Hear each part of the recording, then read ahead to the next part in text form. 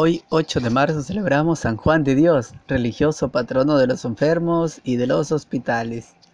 San Juan de Dios es proveniente de familia pobre pero muy piadosa. Su madre murió cuando él era todavía joven. Su padre murió como religioso en un convento. En su juventud fue pastor de ovejas, muy apreciado por el dueño de la finca donde trabajaba. Le propuso que se casara con la hija del patrón y así quedaría como heredero de todas aquellas posesiones. Pero él dispuso permanecer libre de compromiso económico y casero que deseaba dedicarse a las labores más espirituales. San Juan de Dios estuvo de soldado bajo las órdenes del genio de la guerra, Carlos V, en batallas muy famosas. La vida militar lo hizo fuerte, resistente y sufrido. La Santa Virgen salvó a San Juan de Dios de ser ahorcado, pues una vez lo pusieron en la guerra a cuidar un gran depósito y por no haber estado lo suficiente alerta, los enemigos se llevaron todo. Su coronel dispuso mandarlo a ahorcar, pero Juan se encomendó con toda fe a la Madre de Dios y logró que lo perdonaran la vida y dejó la milicia. Al salir del ejército, San Juan de Dios quiso hacer un poco de apostolado y se dedicó a ser de, hacer de vendedor ambulante de estampas y libros religiosos. Cuando iba llegado a la ciudad de Granada, vio a un niño muy pobre y muy necesitado y se ofreció bondadosamente a ayudarlo. Aquel pobrecito era la presentación del niño Jesús, el cual le dijo, Granada será tu cruz, y desapareció. Estando San Juan de Dios en Granada, de vendedor ambulante de libros religiosos, de pronto llegó a escuchar una prédica del famoso padre San Luis de Ávila. San Juan de Dios asistió a uno de los elocuentes sermones y en pleno sermón, como el predicador hablaba contra la vida del pecado, nuestro hombre se arrodilló y empezó a gritar, Misericordia, Señor, que soy un pecador, y salió gritando por las calles pidiendo perdón a Dios. Tenía unos 40 años. San Juan de Dios en ese momento se confesó con San Juan de Ávila y se propuso una penitencia muy especial hacerse loco para que la gente lo humillara y lo hiciera sufrir muchísimo. Tocando profundamente por el amor de Dios en su corazón, San Juan de Dios repartió entre los pobres todo lo que tenía en su pequeña librería. Empezó a deambular por las calles de la ciudad pidiendo misericordia a Dios por todos sus pecados. La gente lo creyó loco y empezaron a atacarlo a pedradas y golpes. En una oportunidad, las personas del pueblo agarraron a San Juan de Dios y lo llevaron al manicomio y los encargados le dieron fuertes palizas, pues ese era el medio que tenían en aquel tiempo para calmar a los locos, azotarlos fuertemente. Pero ellos notaban que San Juan de Dios no se disgustaba por los azotes que le daban, sino que ofrecía todo a Dios, pero al mismo tiempo corregía a los guardias y les llamaba la atención por el modo tan brutal que tenía de tratar a los pobres enfermos. Aquella estadía de San Juan en ese manicomio, que era un verdadero infierno, fue verdaderamente providencial, porque se dio cuenta del gran error que es pretender curar las enfermedades mentales con método de tortura. Y cuando quedó libre, fundó un hospital, y allí, aunque él sabe poco de medicina, demostraba que él es mucho mejor que los médicos, sobre todo en lo relativo a las enfermedades mentales, y enseñara con su ejemplo que a ciertos enfermos hay que curarlos primero del alma, si se quiere obtener después la curación de su cuerpo.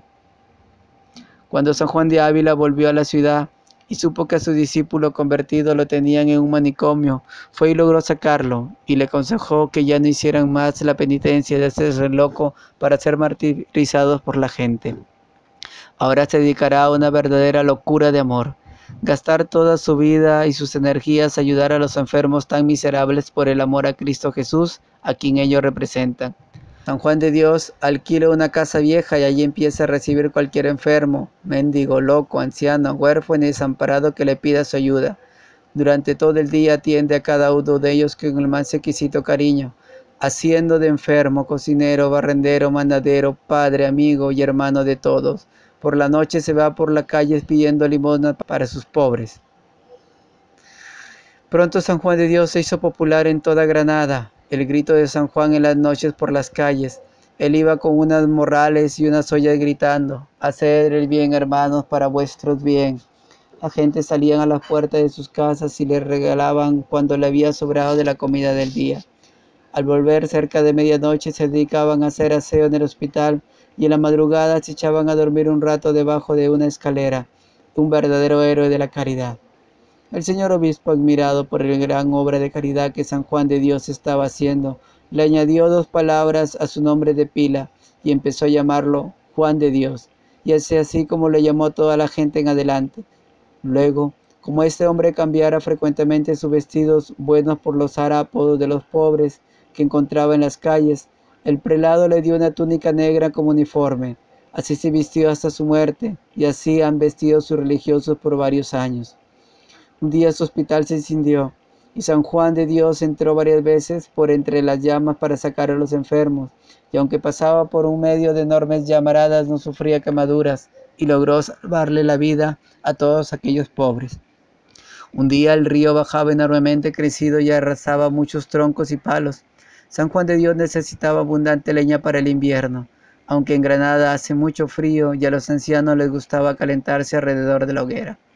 Entonces se fue al río a sacar troncos, pero uno de sus compañeros muy joven se adelantó imprudentemente entre las violentas aguas y se lo llevó la corriente. San Juan de Dios, sin pensarlo dos veces, se lanzó al agua y trató de salvarle la vida, y como el río bajaba fuertemente frío, esto hizo daño para su enfermedad de artritis y empezó a sufrir espantosos dolores.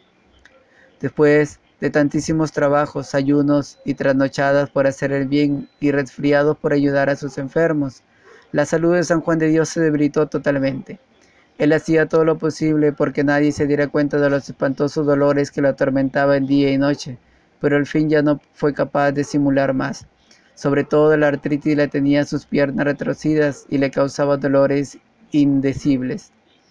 Entonces una venerable señora de la ciudad obtuvo el señor obispo la autorización para llevarlo a su casa y cuidarlo un poco. San Juan de Dios se fue ante el Santísimo Sacramento del altar y por largo tiempo rezó con todo el fervor antes de despedirse de su amado hospital. Le confió la dirección de su obra a Antonio Martín, un hombre a quien le había convertido y había logrado que se hiciera religioso, y colaborador suyo, junto con otro hombre a quien Antonio odiaba, y después de amigarlos, logró el santo que le ayudaran en su obra de favor por los pobres como dos buenos amigos. Al llegar a la casa de la rica señora, San Juan de Dios exclamó, Oh, estas comunidades son demasiado lujo para mí que soy tan miserable pecador. Allí trataron de curarlo de su dolorosa enfermedad, pero ya era demasiado tarde. El 8 de marzo de 1550 sintió que le llegaba la muerte. San Juan de Dios se arrodilló en el suelo y exclamó, Jesús, Jesús, en tus manos encomiendo mi espíritu, y quedó muerto así de rodillas. Había trabajado incansablemente durante diez años dirigiendo su hospital de pobres, con tantos problemas económicos que a veces ni se atrevía a salir a la calle a causa de sus muchísimas deudas que tenía, y con tanta humildad que sin, siendo el más grande santo de la ciudad se creía el más indigno pecador. El que había sido apedreado como loco fue acompañado al cementerio por el obispo, las autoridades y todo el pueblo como un santo. San Juan de Dios es el santo patrono de los hospitales y de todas las personas que allí trabajan además de ser el patrono también de todos los enfermos del mundo. Sacado de la fuente Píldora de Fe. No te olvides, querido hermano, de suscribirte. Bendiciones de tu hermano el Socoyotito.